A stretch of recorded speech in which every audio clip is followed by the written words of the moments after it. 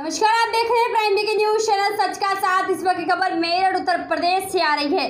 सभी दर्शकों को पता है कि लॉकडाउन चल रहा है। लॉकडाउन का आज चौथा चरण शुरुआत हो चुकी है। चौथे चरण की शुरुआत होने के बाद जहाँ मेरठ में आपको पता चले कि सभी कामकाज बंद हुए पड़े हैं और कामकाज पूरे बंद होने की वजह से अब गरीब और बेसहारा लोग को काफ़ी दिक्कतों का सामना करना पड़ रहा है। हमारे साथ बने रहिए, कोई रिपोर्ट पर नज़र डालते हैं। लॉकडाउन के चलते सभी काम बंद है और ऐसे में गरीब मजदूर पेशा लोगों को बड़ी समस्याओं का सामना करना पड़ा है। गरीबों के खाने पीने की समस्याओं को लेकर राजनीतिक और समाज सेवी लोग अपने अपने स्तर पर समाज सेवा कर रहे हैं। ऐसी एक समाजवादी पार्टी के वरिष्ठ नेता पवन गुज्जर मेरठ निवासी जो लगातार निस्वार्थ भाव से सभी वर्गों के और लोगों को मदद कर रहे हैं। कभी भोजन के रूप में तो कभी राशन के पैकेट बनाकर लॉकडाउन के बाद से ही बराबर जरूरतमंदों के घर घर तक पहुँचाने का कार्य कर रहे हैं। मैं पवन गुजर समाजवादी पार्टी, पूर्व जिला महासचिव।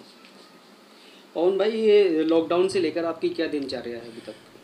लॉकडाउन से लेकर अब तक प्रत्येक दिन सुबह में हमने लगभग 500 हज़ार लोगों को खाना वितरण किया है, जो ज़रूरतमंद लोग हैं, जो खाना बनाने में असक्षम है, जिनके घर पर साधन खाना बनाने के नहीं हैं। और शाम में जिस दिन से रमज़ान शुरू हुए हैं, हम लोग लगातार रोज़ा इफ्तारी का, शाम का कार्यक्रम चार पाँच सौ लोगों का, ज़रूरतमंद का, वो भी हम लोग घर घर वितरित करा रहे हैं। इसी बीच में हमने लगभग 200 सूखे राशन की किट भी बांटी हैं जिसमें एक पाँच किलो आटा, दो किलो चीनी, दो किलो आलू, तेल, नमक और चाय पत्ती, घर का लगभग ज़रूरत का सारा सामान, सौ किटें वो हमने बांटी हैं। और इसी बीच में हमने सैनिटाइज़र भी जगह जगह कराए हैं, जहाँ तक सरकारी चीज़ें नहीं पहुँच रही हैं, सरकारी नगर निगम की मदद नहीं पहुँच रही है, वो भी कराई हैं। फेस मास्क बांटे हैं, दवाइयाँ बांटी हैं झोपड़ पट्टियों में। और सैनिटाइज़र, कैप, ग्लव्स, सारी चीज़ें हमने ज़रूरतमंद लोगों को लगातार हम बांटते आ रहे हैं। पवन भाई ये समाज सेवा की प्रेरणा आपको कहाँ से मिली? किस तरह से मिली? ये हम समाजवादी पार्टी के हमारे राष्ट्रीय अध्यक्ष माननीय अखिलेश यादव जी हैं।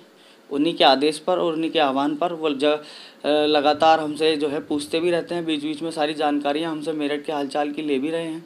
दो तीन बार बात हमारी माननीय राष्ट्रीय अध्यक्ष जी से भी हो गई है इस विषय में। उन्हीं से प्रेरणा लेकर के हम गरीब जनता की मदद कर रहे हैं।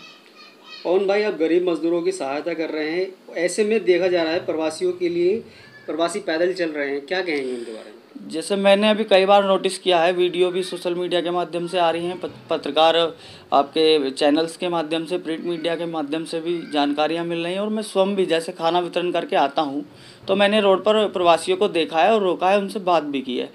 ही हाल में मैंने पानीपत से आ रहे लगभग दस बारह प्रवासियों को रोका और उनसे जानकारी ली। तो उन्होंने बताया कि ना तो प्रशासनिक कोई मदद उन लोगों को मिल पा रही है और ना ही कोई जैसे रास्ते में कोई अधिकारी उनको मिलता है ना रोकता है ना खाने की व्यवस्था है ना कुछ। तो सरकार पूरी तरह फेल है। गरीब मजदूरों की बात करने वाली सरकार सिर्फ़ और सिर्फ़ उद्योगपतियों में फंस कर रह गई है।